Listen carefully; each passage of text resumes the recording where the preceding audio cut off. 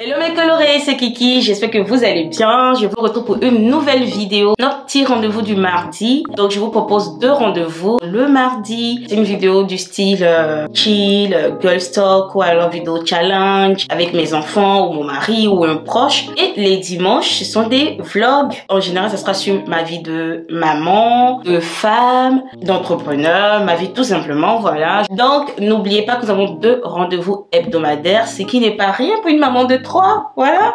Mettez des likes à mes vidéos. Abonnez-vous si ce n'est pas encore le cas. Vous cliquez sur le bouton rouge s'abonner qui est juste en bas. Vous activez la cloche de notification. Comme ça, dès que Kiki dépose une vidéo, YouTube te dit qu'il y a une vidéo.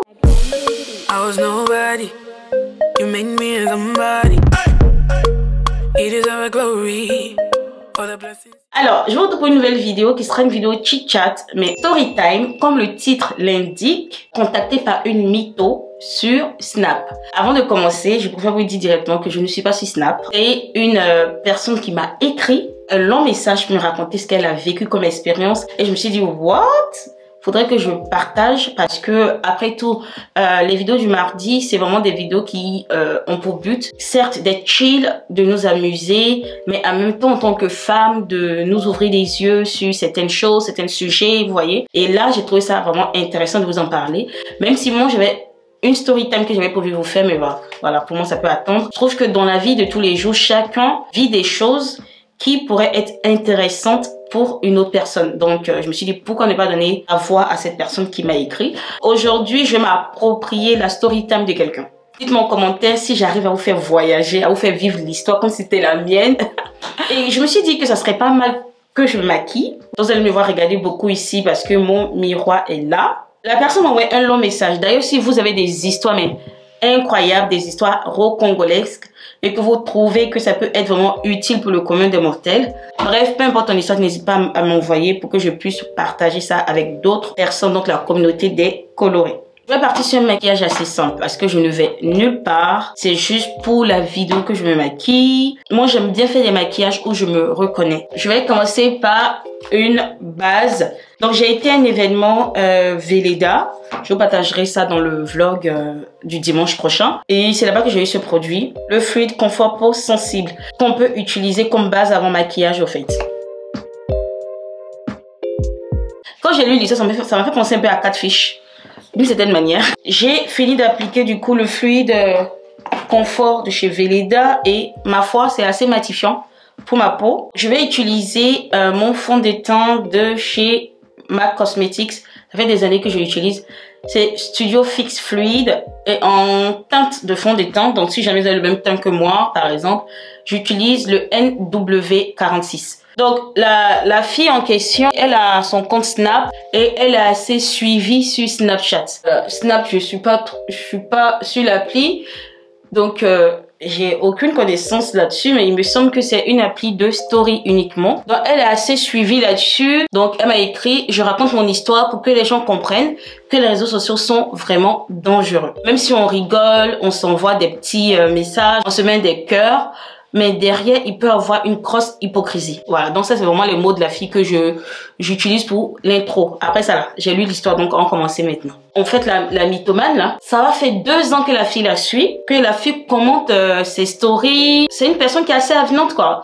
Elle va lui dire tout le temps, tu es belle, euh, ce que tu fais, c'est vraiment top? Donc, en soi, c'est l'abonné rêvé, quoi. L'abonné qui est hyper sympa, qui te montre que tu publies pas tes choses dans le vide, vous voyez? Dès qu'elle publie quelque chose, la fille, elle commente, elle est assez réactive. Donc, ça fait que vraiment, arrivé au moment tu te dis, voilà, ça c'est vraiment une abonnée euh, qui me donne l'impression d'être euh, créatrice de contenu ou les choses comme ça, Snapchatter, je pense qu'on appelle. Euh, il n'y avait pas lieu qu'elle se méfie de la personne, au fait. Sachant que ça fait deux ans, c'est pas un rien. Il y, a des personnes qui peuvent vous suivre et qui, au bout de, euh, disons, euh, deux mois ou même deux semaines même, hein, ne s'intéresse plus à votre euh, contenu et se désabonne, quoi. Sauf que là, ça fait deux ans, donc je pense qu'en deux ans, voilà, selon moi, il y a quand même un climat de confiance qui s'installe, climat de confiance entre guillemets, qui s'installe parce qu'on est habitué c'est un peu comme sur YouTube, quand je partage, euh, quand je publie mes vidéos, je sais qu'il y a certaines personnes pour sûr qui vont commenter. Parce que ce sont des personnes assez régulières dans mes commentaires. Donc je pense que c'est comme ça que la personne s'est sentie avec cet abonné qui, au bout de, voilà, bah, pendant deux ans, n'a pas cessé de lui écrire au fait, d'être euh, très présente, d'être très encourageante. Je vous ai pas dit, mais moi, j'applique mon fond de teint avec une éponge comme ça. Je trouve que c'est plus pratique pour moi que euh, le fait d'étaler avec un pinceau. Je me sens plus à l'aise avec. Après, c'est vrai qu'il y a d'autres personnes qui trouvent que l'éponge absorbe le fond de teint. Après, moi, je ne cherche pas quelque chose de hyper couvrant, peut-être parce que je n'ai pas énormément d'imperfections sur la peau, peut-être c'est ça. Mais en soi, je ne cherche rien d'hyper couvrant, je veux juste euh, harmoniser mon teint en fait. Attendez, je cherche mon teint crayon.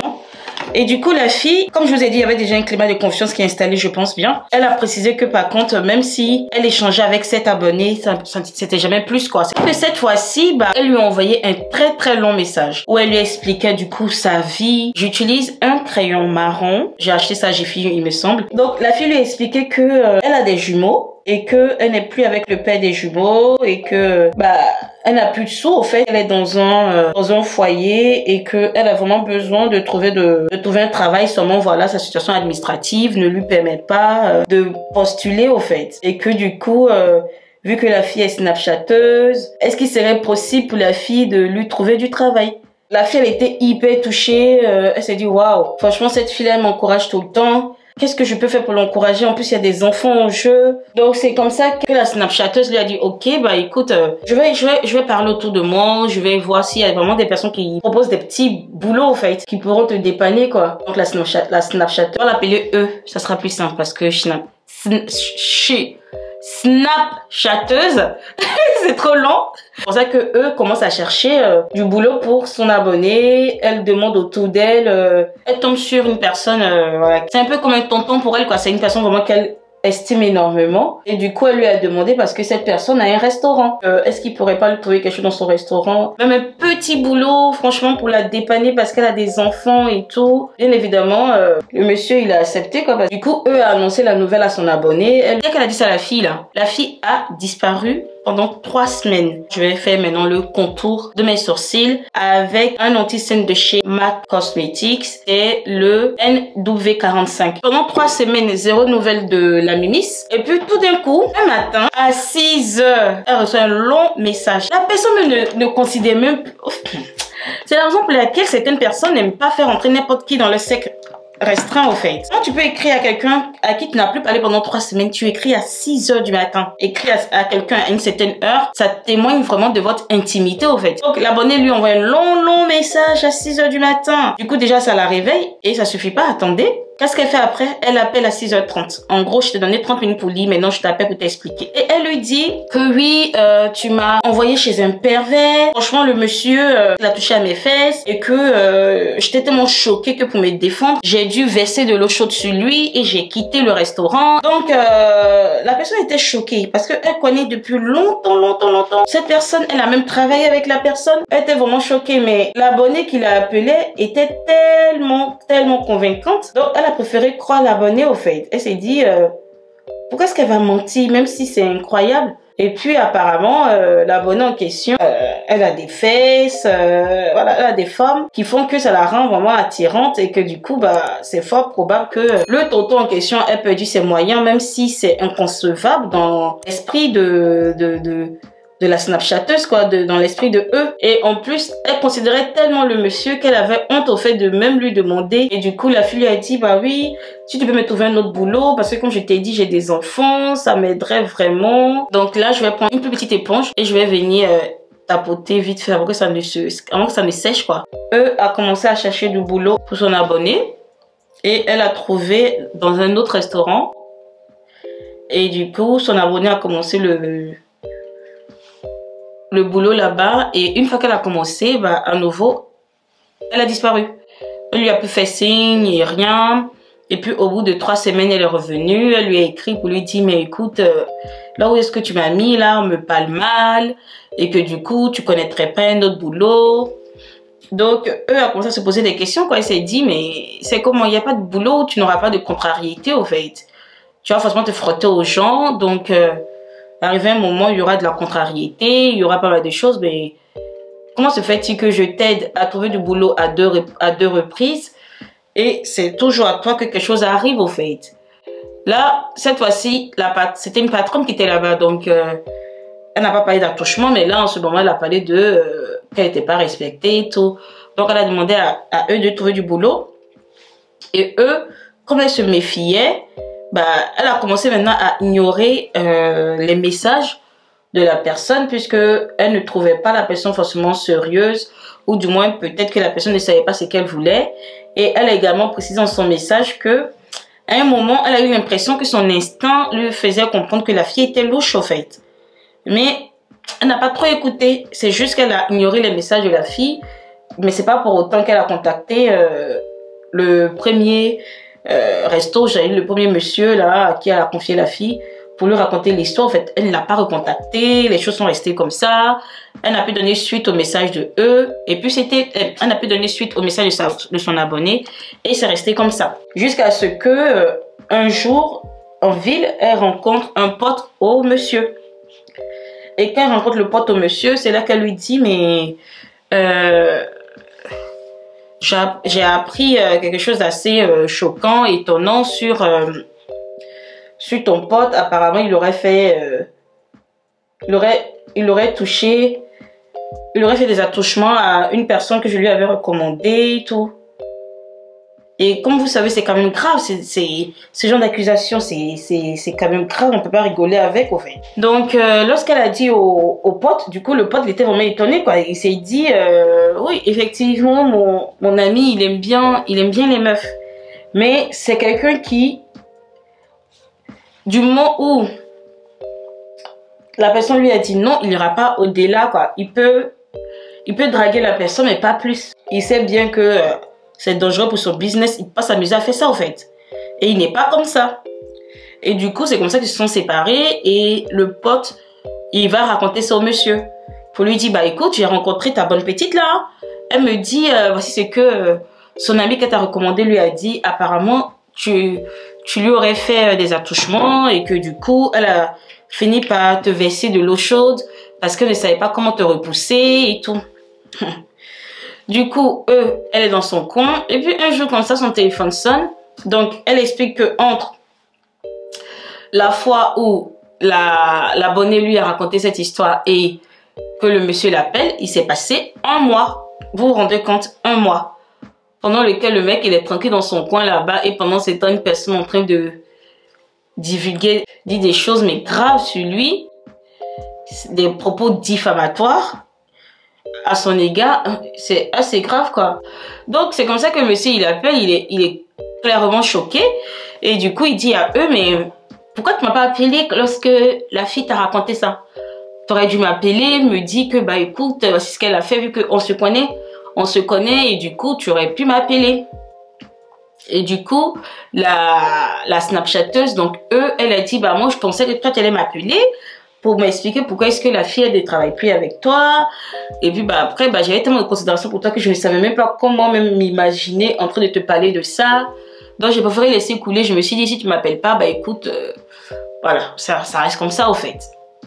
Puisque dans tous les cas, la fille m'a dit qu'elle travaillait plus chez toi. Tenez-vous prête, mes colorés. C'est là maintenant le monsieur a des sa version. Donc, quand le monsieur commence à se livrer, eux, elle est juste choquée par ce qu'elle entend. Le monsieur lui explique que déjà, elle, a dit au monsieur que c'était une femme qui avait deux enfants, qui était dans son foyer, que le père était plus avec et tout, euh, et que du coup, euh, voilà, elle avait vraiment besoin d'un petit boulot pour subvenir aux besoins de ses enfants. Sauf que dès le premier jour, lorsque l'abonné arrive dans le restaurant, elle fait comprendre au monsieur que elle, au fait, elle est américaine. qu'elle est américaine et qu'elle a cinq enfants. Donc ce n'est plus des jumeaux. C'est pas les deux enfants qu'elle a, mais elle a cinq enfants. Et que elle s'est séparée du père de ses enfants. Bon, là, ça reste la même version. Elle n'est plus avec le père de ses enfants et que du coup, elle a quitté les États-Unis parce que les États-Unis devenaient difficiles. Donc, elle est américaine, elle quitte les États-Unis parce que ça devient difficile. Et où elle vient Elle vient en France. Malgré tous les accords qu'il y a entre les États-Unis et la France, elle se retrouve en situation irrégulière, comme si elle revenait d'un pays africain lambda, au fait. Donc, elle se retrouve dans une, situation irrégulière, ce qui fait que elle ne peut pas postuler comme elle aimerait et que du coup, elle recherche un petit boulot. Comme il disait le monsieur, elle ne s'exprimait pas bien en français, donc euh, lui, il pensait que peut-être c'est vrai. Peut-être c'est vrai, mais c'est quand même bizarre que euh, eux lui disent bah c'est une amie et qu'elle ne lui dise pas ça, quoi, qu'elle ne lui parle pas des États-Unis et tout. Elle lui a plus parlé d'un foyer. Donc lui, il a trouvé ça bizarre, mais sans plus. Sauf que plus on avance, elle dit beaucoup de choses, beaucoup, de choses, euh, telles que euh, bah, qu'elle sait compter, puisque lui, il lui fait confiance en se basant sur eux. Donc il aimerait lui confier bah, le service, donc la caisse également.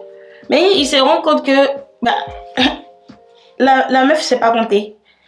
Elle sait pas compter, c'est pas écrit quoi. Donc, euh, il se pose des questions, en fait. Il se pose des questions, il dit, mais tout ce qu'elle m'a raconté, ça tient pas la route. Tu me dis que toi, tu sais compter, mais tu sais pas compter. Donc, est-ce que États-Unis, là même, c'est vrai? Donc, c'est comme ça que il a commencé à se méfier, mais bon, sans encore ça allait? Et arrivé un moment, il se rend compte que euh, la meuf en plein service, elle lui fait des clins d'œil, elle lui envoie des bisous et tout. Voilà. Donc, il s'est dit, c'est quoi ça? Et lui, il a dit que comme il sait qu'il est patron et que des fois c'est euh, le... Je vais dire ça Le fantasme de certaines personnes de se dire, bah, je sors avec mon, boss et tout. Donc euh, tout de suite ça l'a refroidi quoi. Ça l'a refroidi parce que lui il n'aime pas quand c'est euh, il n'aime pas les filles qui voilà qui cherche à, l'allumer au fait. Non, non, lui il n'aime pas ça. Au contraire, il préfère quand une fille ne s'intéresse pas à, lui, il sent que, il peut peut-être potentiellement s'intéresser à la fille en se disant, bon, c'est pas une fille qui a des intérêts, cherche rien. Euh. mais là, comme ça, une fille qui affichait clairement, c'est, qui affichait clairement ce qu'elle voulait, en tout cas ses intentions. Lui, ça l'a refroidi tout de suite parce qu'il n'était pas, il était pas sûr de ce qu'elle voulait à peine arriver, déjà qu'elle est fond, euh, qu'elle le drague et tout, donc il ne comprenait pas. Et une autre chose qu'elle lui a dit, c'est que elle lui a dit qu'elle connaît personne en France. Donc ça c'est la même version qu'elle a donnée à eux. Elle a dit à eux qu'elle n'avait pas de la famille en France et tout. Elle connaissait personne. Donc c'est la même chose que elle elle a raconté au boss du restaurant qu'elle connaît personne. Euh, elle connaît personne en France. Seulement que, seulement voilà, lorsque les clients viennent, quelqu'un qui est supposé ne connaître personne c'est elle qu'on appelle par son prénom. Donc, pas mal de clients qui viennent, qui lui disent Ah, toi tu es ici maintenant, ça va et tout, et qui disent son prénom. Donc, lui, il trouve ça assez hallucinant, quoi. Il s'est dit Mais la, la gommière m'a dit, euh, la fille, m'a dit qu'elle ne connaît personne. Comment se fait-il que là, euh, comme par hasard, tous mes clients qui viennent, ils la connaissent? Donc ça encore, elle a trouvé ça bizarre. Mais ça suffit pas. La personne va encore plus loin. Il se rend compte que c'est le genre de personne, si le client laisse un reste, donc vous imaginez bien, c'est un restaurant africain, donc nos repas, c'est très souvent des soupes et tout, ou alors des sauces, ou alors, euh, voilà, ce sont des choses, on peut pas vraiment dire qu'on prend et qu'on garde les restes de quelqu'un qu'on connaît pas au fait. Déjà, mais les restes de quelqu'un qu'on connaît, euh, voilà. Mais la meuf, si le client ne finissait pas sa soupe, disons, elle récupère la soupe, elle met tout dans un bol. Et elle se barre avec. Et lui, il n'avait jamais vu ça. Lui, quand on débarrasse, allez, poubelle. Là, il était choqué. Mais attendez, il y il y a encore pire qui arrive il remarque que si le client arrive, si le client il vient manger et que par courtoisie, au fait, des fois au pays, euh, c'est pas comme ici dans les restaurants hyper carrés, les restaurants français et tout. Au pays, en général, quand on mange et qu'une personne est là, on va dire, par exemple, bah, je t'invite. Je vais prendre euh, le phare à paupières marron clair. Euh, il a remarqué que quand un client invite la fille et qu'il lui dit, bah, viens manger, elle prend pas ça pour de la rigolade. Hein. Elle s'assoit. Viens, Doudou. Viens. Oui, mon amour. Il de se réveiller. Je vous disais que euh, il trouvait ça vraiment dérangeant de savoir que sa serveuse euh, mangeait avec les clients. Donc, elle répondait à l'invitation de tous les clients.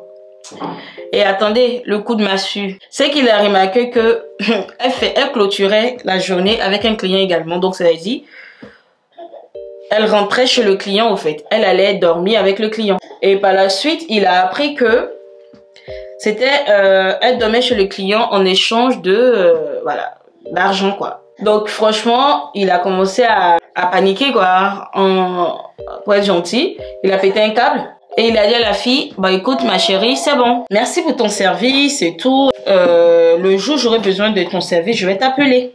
Elle lui fait comprendre que la fille lui fait comprendre que bah non non ça me dérange pas. Euh, de, de, travailler même si tu me payes pas. Donc là, j'utilise la poudre MAC Cosmétiques. Je la prends NW46, au fait la même teinte que mon fond de teint.